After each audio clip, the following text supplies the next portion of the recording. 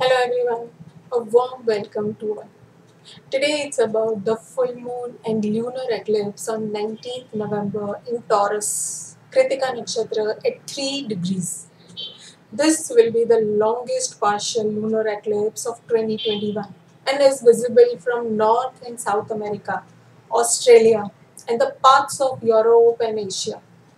It will be the longest partial lunar eclipse since 15th century. In India, it will be visible only in some part of Arunachal Pradesh and Assam. The duration of this eclipse will be of nearly three and a half hours. It will begin at 7.10 in the morning on 19th November UTC till 10.50 in the morning UTC. With lunar eclipse, the duration signifies the number of months. So the impact can be for three and a half months of this lunar eclipse. With lunar eclipse, the earth will be in between sun and moon, along with Rahu Ketu by their side. And it will be a full moon day. Full moon is the culmination point with emotions at their peak and with exalted moon and Rahu together, the intensity will be extreme. It is going to be hard for those who will resist any change, and best for those who are working for some change or some shift since very long. So choose your side. As eclipse is the time for releasing what is no longer working for you. It is emotionally the most difficult thing to do as the change may not come easily to anyone. And we have this eclipse in a fixed sign, Taurus and Scorpio, who aren't exactly comfortable letting go or changing. But here with this eclipse, there is no choice. It's the force that will dictate the terms. And planets have psychological impact. They don't actually come down and do anything it's we who react to any emotional burst. So, if we have required change in our attitude or in the circumstances, then everything will flow with ease. Secondly, it has been experienced that with eclipse there are earthquakes, tsunamis, or at times some natural calamities. Now, if we see scientifically, they happen when there is an accumulated energy which need a path to come out. The same happens with us. Eclipse is the time that needs some release. It could be at any level emotional, mental, or actually letting go of things that doesn't work for you or for your growth. It's a time to release. Give it away consciously, or it will surely find its way to take away things from you, and then we call it destruction, which won't be the case if we handle it well and also eclipse is the time to explore new horizons. It is necessary to be alert and careful, but not fearful. An eclipse is not the only indicator which signifies the transformation. There are so many pointers that things are about to change. First, the axis is 2 and 8, Taurus and Scorpio where the struggle is to balance between the beauty of life and the harsh and the dark realities of life. See, both are fixed signs and will give you some lasting impact. You just have to decide where you need to have a fixed gaze. Taurus is your own possessions, bank balance, family and material life. Most importantly, your values. Whereas Scorpio is all about others or combined possessions and your spiritual growth. Scorpio itself is a transformative sign and Ketu is placed there. Sun and Ketu in the sign of Scorpio sets the stage for some challenging transformation followed by opportunities for growth also. Then Jupiter is also changing the sign the very next day along with Mercury joining Sun and Ketu in Scorpio, followed by Mars. Sun, Mercury, and Mars will one by one cross Ketu and also Gandanta. So it's a high time we take stock of the situation with regard to any old, dead emotional issues or even a person, a place, or a memory. This eclipse is happening in Sun's Kritika Nakshatra. Kritika is a star of fire. Whatever we put in the fire will burn only and has the significance of purification by burning, giving heat and light.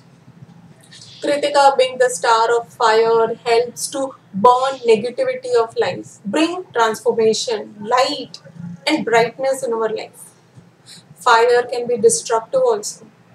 And Kritika symbolizes a sword, razor, or a knife, which has two ways and can be used to cut, to protect, and also it can hurt you if you don't use it well. Be watchful of any insensitivity which comes in our action or in communication, as Kritika is Mishra, mixed nakshatra in nature, and gives equal treatment to friends and enemies both. So, no discrimination. What this means is Kritika will do its job any which ways, irrespective of what role it plays in your individual chart. You need to be patient and adaptable in any change that comes your way. We can discover a lot if we remain open for any transformation that comes with, along with this eclipse. Start exploring on which of your old feelings need better expression or which habits need some radical fix up. What is not working for you but still you're holding on? What are the barriers for your growth? What stops you from having progress? Do reflect on all these questions, and your answer should be your reaction to what this eclipse will bring for you. And mostly the answer lies in your own action, behavior, or thoughts, which needs release, letting go. And that's the theme of this eclipse. Check Taurus and Scorpio axis in your chart. This axis is getting activated with this eclipse. The 2 and 8 axis of the natural zodiac signifies the struggle of what to hold on to, which is Taurus, our value system, and what to let go, have transformation, and that is Scorpio. Mostly, we need to work on our fears, which has built up with our past hurtful experiences. But holding on to those fears will not help unless we change something within us. Let us see for each ascendant in one line what we have to release and build some new value system. Start with Aries. Aries should release their holding nature, stop collecting things, and bring balance by valuing the intangibles of life. Taurus should let go of their tendency to control others, have trust, and bring balance by including others in their life. Gemini should take things easy.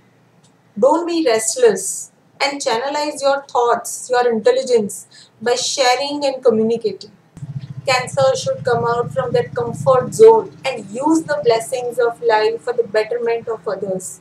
For Leo, it's time to come out in public and leave your ownership, your throne, for some worthwhile job. Virgo need to heal yourself from any burden of being detail oriented or perfect by redefining your definition of being adequate. Libra needs to consider and be firm on your choices, but still maintain the balance while dealing with any chaotic situations with others. Scorpio need to let go of any hatred, revenge, forgive others for their mistakes, and release yourself from the fear of not being included. Sagittarius, leave yourself a little loose. It's not about planning always. Discard any fear of losing your freedom while you explore something new. Capricorn, relax a bit. It's not about always duties, work, and responsibilities. Have some me time. Enjoy your creativity.